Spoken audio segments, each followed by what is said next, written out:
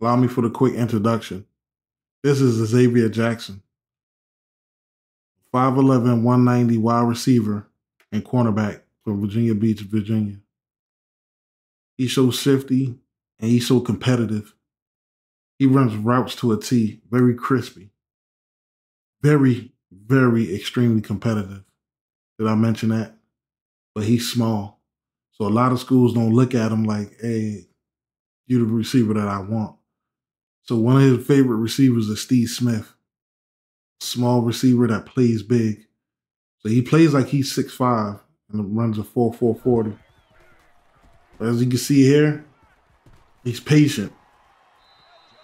He waits for his quarterback and he's always there for him. Crispy route runner for sure hands. He's always ready to catch the ball and try to make a play. But his dream is to just play Division One football. But he had a couple of scouts come out and say, ah, I think he's too little. So right now he's just trying to prove the doubters wrong. So as he goes to the playoffs, he takes his team to the playoffs, and he's showing his ability. He's a lockdown corner. They want him for cornerback, but he believes he's a better receiver. And that's what he wants to play. That's his dream position. So he just want to show scouts that, hey, I can get on the field.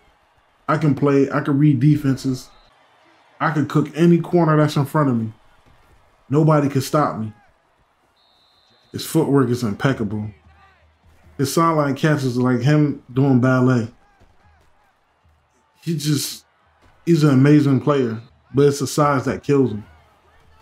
So when scouts see, they look at the stats like, man, this guy's about 6'2", runs a 4-4, runs like a dare, has for sure hands. And when they see him, they're like, ah, you, you're a little bit too small. You might get bullied.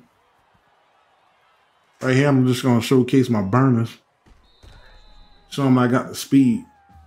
And I score every time damn near I touch the ball. But my whole goal is, and my plan is to make the playoffs. I made the playoffs. Now it's time to make the state championship. And I have to win, and I have to win decisively. Right now, as we sit here in the state championship in Virginia, playing at Virginia Tech, and I want to show these scouts I can play. So I set the tone by mossing my man on the first play of the game. Got my team hyped. They had to show a replay at home. My parents is real proud of me. That was a great catch. Even though I don't want to go to college and play corner, I have to show them I can play both sides of the ball. I may not make it as a receiver, but I'll make it as a corner. As I make my man fumble right there, I'm showing him I'm a hitter. I'm a lockdown corner. You make a mistake, uh, I'm taking it. As I have for my second touchdown of the game, my performance is crazy today. I'm on fire. I can't be stopped. Both sides of the ball, I'm showcasing my talents. I cannot get denied. This is my last chance. So whether I get in as a receiver or a corner, I don't know. At corner, I've been strapping my opponents all year round. I've been locking them down. And at receiver, I've been making garbage plays into big plays, making something out of nothing. I've been getting off of jams, taking on multiple defenders. I'm just headhunting right now. Right now, every time I touch the ball, I just want to score. As I showcase my footwork right there, as I tiptoe in for a touchdown. I'm headhunting right now. I'm breaking tackles. I'm showcasing my speed, showing my toughness, showing that, I, hey, I don't drop passes. You can throw me anything. Whew, and I'm catching it. Whether it's in the air, is it short, I'm jumping over people. This is what I do as I get player of the game on the news. So all my family, my friends saw, saw that I got player of the game in the state championship game. So proud of myself. I'm gonna go head on to signing day. Coach said I got a few few scholarships. I'm getting a few looks. I'm gonna choose the best college for me. So that was my last game in high school, and I left it all on the field. The college I chose was Oklahoma State. This was the only college that was giving me an opportunity at wide receiver. Even though it was third string, I just want to show them I can play and I can climb the depth charts later. Right now, I have to prove myself as I get my first catch in my college career.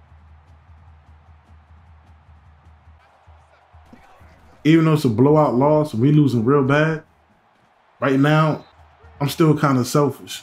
And I'm showing like, hey, showing the quarterback, hey, you can trust me. You can throw it whenever and I will catch it. And I will try to make a play.